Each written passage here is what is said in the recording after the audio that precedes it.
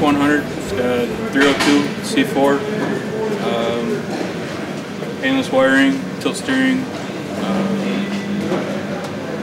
new AutoMeter gauges, white face, white face gauges. Those are about 450 bucks. Uh, tilt GM steering.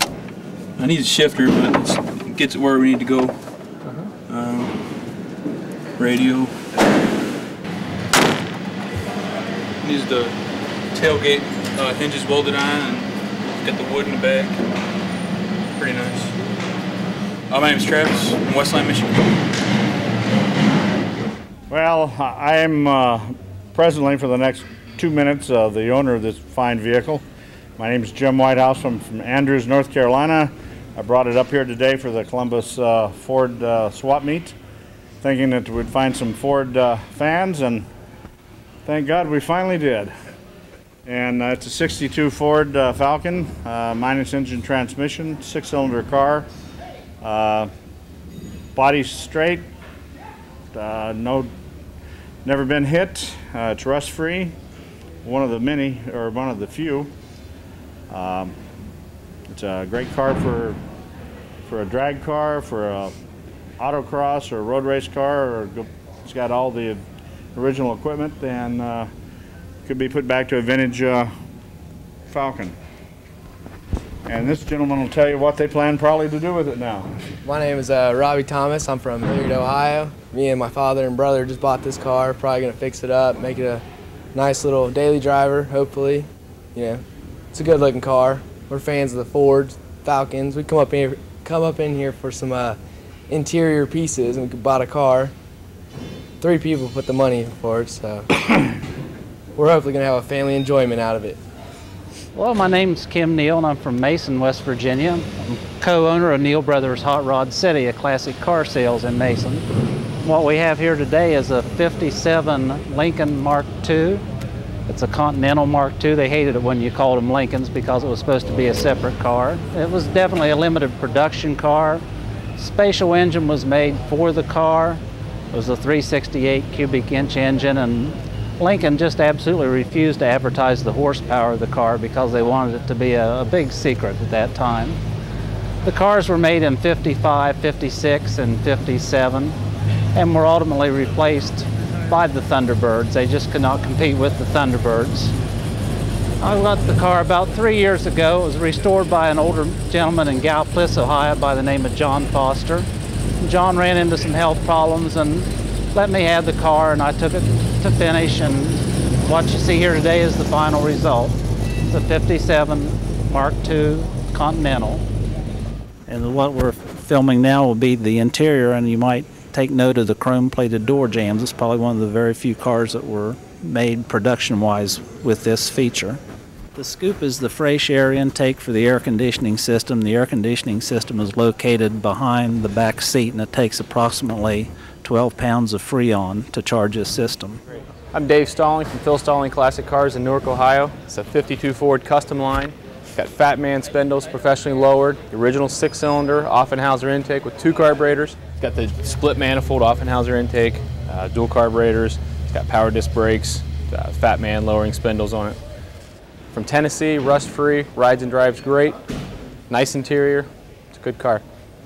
Okay, Dave Stalling again from Phil Stalling Classic Cars. In addition to the 52 Ford, we've got a 61 Galaxie from California, rust-free, runs good, V8. 63 Ford Fairlane, six-cylinder, three-speed, beautiful car, runs and drives like it did brand new. 81 Fairmont, V8 car, automatic, loaded.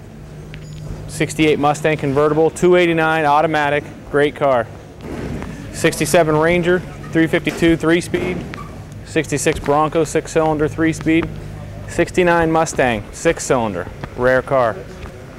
67 Mustang from Las Vegas, absolutely rust free, air conditioned V8 automatic. 77 Mustang 2, 351 race car. And a 73 Mustang Grande. Come visit us anytime, Phil, philsclassics.com on the internet.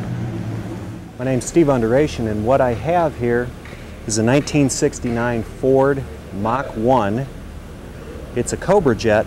R code which means that it was a 428 with a shaker hood scoop and the shaker intake system on it. This particular car was originally candy apple red, which is what you see on it now. It has a gold stripe kit that goes with it and a red interior.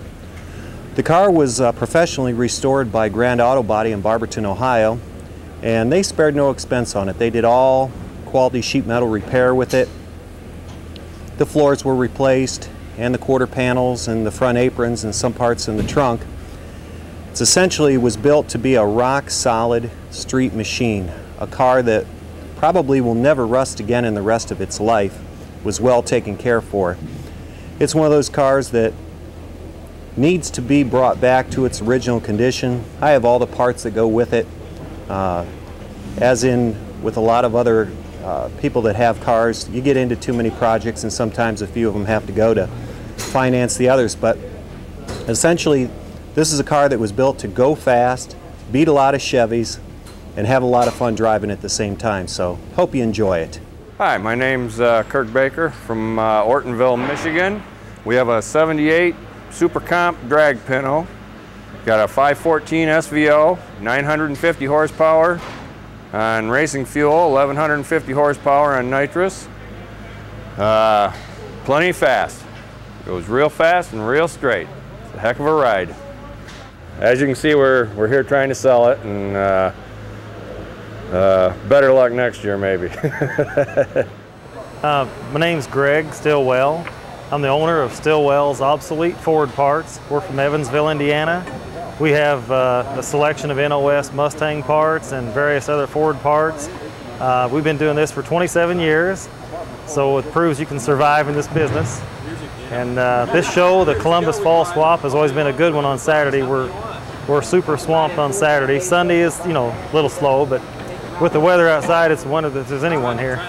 There's some 58 Ford fender guides in there and a 68 Shelby gas cap, new old stock. We've got 427 Galaxie emblems, 67 GTA emblems, NOS 68 Mustang gas cap. There's a Falcon hood ornament. There's all kind of gold in that little cabinet. Um, hi, I'm Jeffrey Frank. Um, these pumps are original, non-reproductions. Uh, this pump here was uh, totally disassembled, sandblasted, clear coated. It's got the original porcelain faces. Uh, you spin, spin and still ding. Uh, it's 1955 Tokheim. Uh, restored to Sky Chief. This here's a 1927 Rush Model K. Uh, it was made for one year. It's a pretty rare pump. It's a 10 gallon visible. And uh, I got about 50 pumps altogether. Uh, I like to restore them as a hobby. Uh, and it's fun. Hi, I'm Tom Fry with Fry Brothers Dragsters. We have this nostalgia dragster and we have this 1964 Falcon tow car that we use to tow our dragster with and it's a original stock Falcon with a flame paint and lettering on it. Otherwise, it's a stock vehicle. Then if you swing around to our dragster here, this is in competition. We race it all over the United States in Goodguys meets, NHRA meets, runs approximately 180 mile an hour in a low seven second bracket. It's Ford powered with a Cleveland heads and a SVO block. And uh, we race it in California most of the time against mostly Chevy powered and Chrysler powered dragsters, but this is the only Ford powered dragster in the United States. How long have you been doing this? I've been racing dragsters since 1959. I raced a twin engine Buick from 1959 to 72. Then I left and raised my family. Then I raised the top alcohol car from 1993 to 1999. Then I built this car in 2000. Started racing it last year. And um, I'm retired. My pit crew's retired. We're all retired electricians. This is what we do to keep ourselves busy, and we all enjoy it. Thanks for coming to us. Hi. Hi, I'm Kevin Dirth, the uh, president of the United Ford Owners. And I'm also uh, co-chairman of our Fall Super Swap here at the, Ohio, at the Ohio Expo Center, which used to be the Ohio State Fairgrounds. Uh, anyway, we're winding down our 16th annual uh, Super Swap. This is our club's annual event uh, for Ford people. This is an all Ford show, swap meet, car corral, auction. And uh, we're winding down on, on Sunday here, and you can see some of the vendors out through here. Some of them are packing up right now, but it's been a great weekend. And I'm so happy to say uh, that yesterday we had a record Saturday crowd. Um, winter has definitely set in this year. Uh, past few years, we've had some great uh, Saturdays with 50 degree weather and so forth. Yesterday was cold and blustery, and we still had a record Saturday crowd. And uh, I guess that just shows car people are diehard. But uh, we've been at this 16 years. Uh, we are in four buildings here at the Ohio Expo Center. I'm currently standing in the Voinovich building, which was put up by our former governor a few years ago. And uh, we're talking to the fairgrounds about adding a fifth building for next year.